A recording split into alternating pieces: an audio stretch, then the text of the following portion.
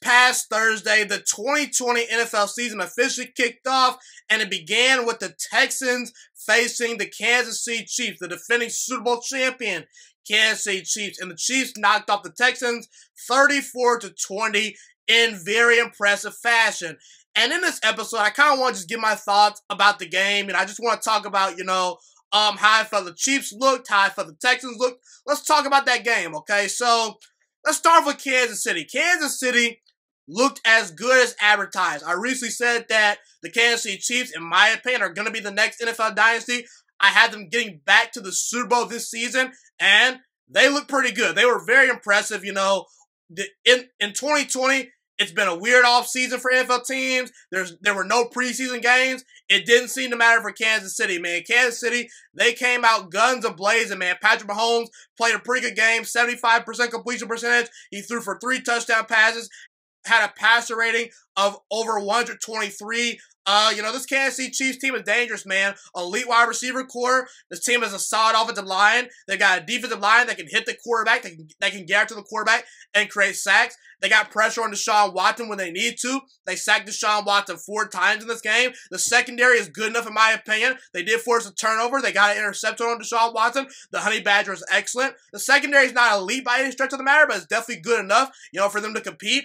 And this is a team that I expect to win the AFC, man. I really do expect the Kansas City Chiefs to win the AFC to win the AFC if they stay relatively healthy, man. And listen, I told you guys recently in an episode that Clyde Edwards-Helaire, the running back that the Kansas City Chiefs drafted out of LSU in the first round, he was going to make that offense the most scary unit in the NFL in 2020. And so far, it looks like I'm right about that, man, because Clyde Edwards-Helaire, he didn't even, you know, catch a pass out of the backfield. And he still had a very sounding impact on this game. Clyde Edwards-Helaire, if you don't know, he was a very good pass catching running back at LSU as well. And one of the reasons why the Kansas City Chiefs drafted Clyde Edwards-Helaire was because a lot of teams play man coverage versus the Chiefs. And while Tyreek Hill and Mecole Hardman are very good, analytics show that when you play man coverage versus the Chiefs, you can neutralize Mecole Hardman and Tyreek Hill. They, they are much more effective in the Kansas City Chiefs offense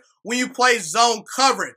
However, when you play man coverage, at times you can neutralize those guys. So at times, Kansas City on the field, the only guys they have that consistently can beat man coverage was Travis Kelce and Sammy Watkins, who at times can't stay healthy. Now they have another guy to beat man coverage out of the backfield in Clyde Edwards-Helaire that they can create mismatches with. And Clyde Edwards-Helaire, he did not disappoint in his NFL debut, man. Clyde Edwards-Helaire, 25 carries for 138 yards and a touchdown. Clyde Edwards-Helaire is their version of Kareem Hunt from Patrick Mahomes' first season starting in the NFL. Re- remember when Patrick Mahomes burst onto the scene in his second season in the NFL, his first season as a starter? Let's not forget, people, Kareem Hunt led the NFL in rushing that season. He was a dynamic threat out of the backfield. And as good as Damien Williams was in that Super Bowl, he's not as good as Kareem Hunt at his best. And Clyde Edwards-Helaire, if he fully pans out, he projects to be a better NFL player than what Damien Williams was. So, man, the Kansas City Chiefs, they've got another great weapon. Enough said about Kansas City, man.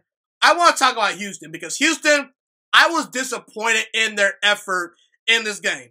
And there really is no excuse for Houston to get beat this badly, honestly. At one point, the game was 34 to 7 with 11 minutes left to go in the fourth quarter. At one point, the Kansas City Chiefs scored 34 unanswered points, and Deshaun Watson and the crew, they had no answer for this team. Listen, man, Houston, they did not look like a playoff team on Thursday night versus the Chiefs. And when I when I evaluate teams, I'm all about the eye test. Last year, the Saints, the 49ers, the Chiefs, the Ravens, the Packers, all those teams looked the part.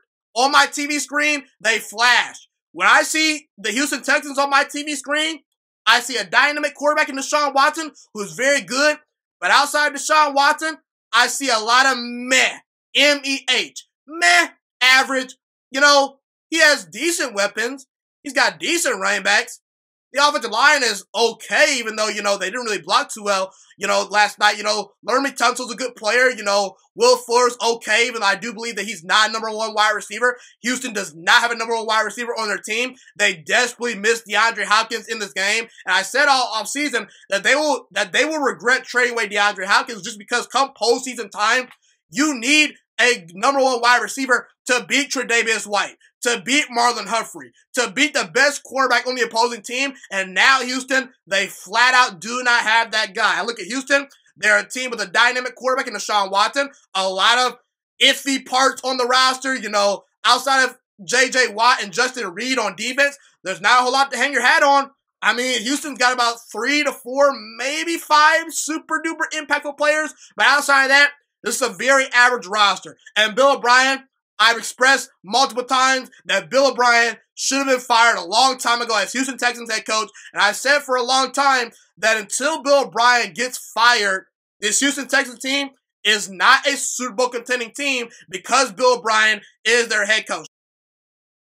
The Houston Texans offensive coordinator needs to do a better job of maximizing the weapons that Deshaun Watson has because there was a lot of short, quick passes. And I, and I admit the offensive line did a, did a poor job of protecting Deshaun Watson. But listen, man, if you can't find a way to maximize three wide receivers on your team that have sub 4 4 speed on the outside of wide receiver, that's a problem because one thing we know Brandin Cooks, Will Fuller, and Kenny Stills can do, we know they're very good at getting down the field and burning you deep. And I saw very few vertical passing plays called by the Houston Texans. And I just didn't think the, their offensive coordinator did a very good job of incorporating those new wide receivers, you know, into this offense. You know, the, the it was a it was a very pedestrian vanilla offense, man. Listen, I'm not completely sold on Houston anymore. You know, I, in the offseason, I had them as a playoff team. I did have them win their division. I felt Indian, I felt Indianapolis overall had a better roster even though I do think that, that as a team they had a ceiling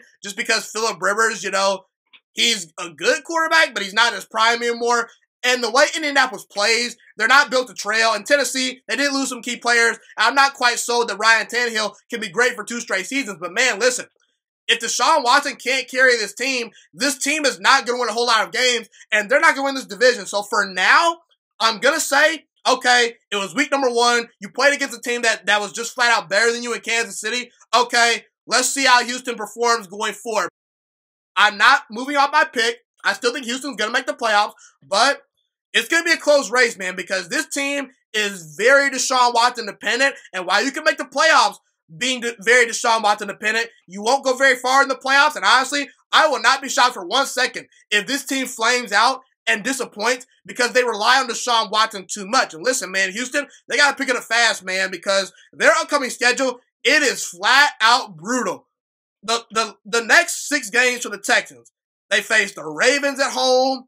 They face the Steelers on the road. They face the Vikings at home. Baltimore made the playoffs last year. Minnesota was a playoff team last year. Then up next, you got the Jaguars. That's a cupcake game. Then at Tennessee and Green Bay at home. It's a lot of very good teams. And honestly, Houston could very well be out the playoff race very quickly if they did not pick things up. So Houston, I'm concerned. They did not look like a playoff team. Kansas City, they looked as good as they looked as good as advertised. And yeah, overall, those are my biggest takeaways from the Thursday night matchup between the Texans and the Chiefs. Thank you so much for watching this video today. Please also note that the Juice Alert Sports Podcast is not just a YouTube channel. It is available on all podcasting platforms, including Spotify, Google Podcasts, iTunes, and Apple Podcasts. Also, if you enjoyed this video, be sure to like, comment, subscribe, and share this content with all your friends. This podcast is my favorite thing in the entire world right now. It is my passion. I want more people to listen to this podcast. I really want this podcast to grow. Also, a fun fact about me is that I want to go into the sports broadcasting and media world once I graduate from the University of Toledo, a college in Northern Ohio. I am looking to become one of the next great sports broadcasters and analysts out in the world. And I potentially would like to start my own network if this podcast really truly grows, or if I fall short of that goal, I would love to work for a big time network like ESPN or Fox Sports 1. I am open to all networks. So if you believe in my dreams and you see or hear my passion through the screen, be sure to tell all your friends about the Juice Alert Sports Podcast. Stay motivated, you guys. Have a God bless day, and I'm out.